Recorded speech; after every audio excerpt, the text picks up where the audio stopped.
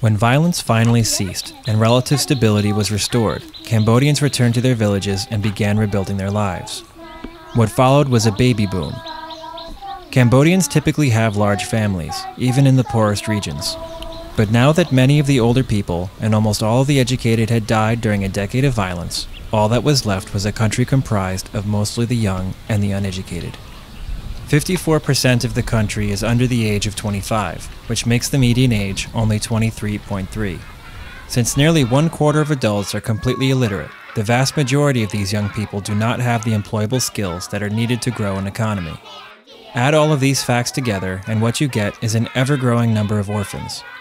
There is an estimated 630,000 orphans in Cambodia. That's 10% of all children.